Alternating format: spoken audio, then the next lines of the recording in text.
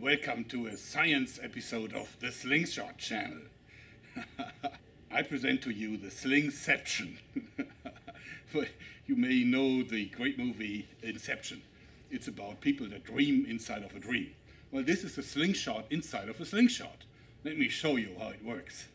This here is just a normal slingshot crossbow. It's not very powerful, but that's not the point. It's a scientific experiment. But it slides in another slingshot with an independent set of slingshot bands. And it's buffered in the end because it's going to hit the end with tremendous force. And it's going to bend quite a bit. That's why it can't be overly powerful. But again, that is not the point. It's not a practical weapon. It's an experiment. Because in theory, the force of these bands and these bands is going to add up.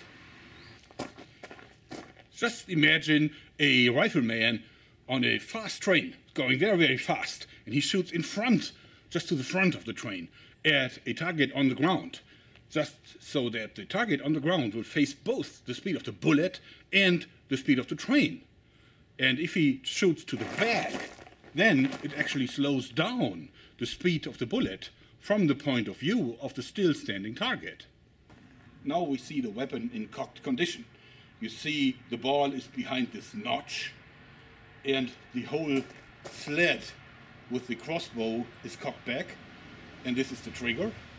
And once it fires it will shift the notch over this nock here and it will be pushed upwards getting a little vector upwards so it will be pushed upwards a little bit and then still moving forward it will be launched still accelerated and um, then it will leave the pouch about here. And if the timing is perfectly right, it will leave the pouch when the acceleration of the sled is stopped by the block here.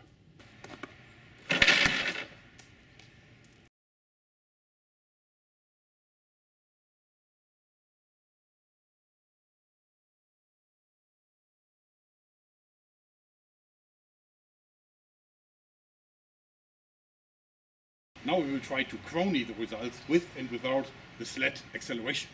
Don't expect any record-breaking results because it's very cold today and this is not a weapon. This is just an experiment.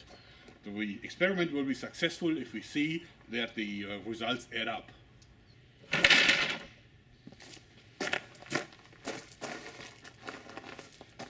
Forty twenty-nine.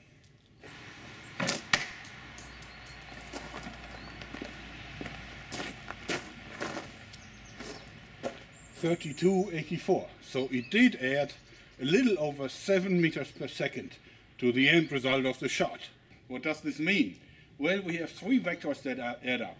We have one vector straight to the front from these bands here. We have another vector straight to the front from the sled. And they add up pretty much. And the sled is slow because the sled is heavy. So uh, the bands aren't very powerful, otherwise the, uh, the thing would break on impact. So um, that's probably only having about 8 meters per second. Adds up with the uh, 32 meters per second from the band here. So we're getting 40 meters per second. And there is a third vector, and that is upwards from the ramp here. That's why the ball is leaving high. So the three vectors add up to a uh, pretty fast forward and upwards motion. Pretty interesting physics experiment. And of course, this could be added. There could be another sled in a sled. So simultaneously, and you could stack this up. It would be ridiculous, of course. Now, would this be more powerful if I would just have one long band set? Probably, but there is one limit. Rubber only has a certain end speed. Now, there is one thing that you can do with this technology. You can shatter the maximum retraction speed of rubber, which is probably around 500 feet per second you can probably design a rubber-based launcher that can shatter the uh, speed of sound. Wouldn't that be awesome? anyway, Slingception, I hope you like it because that's it for today. Thanks and bye-bye.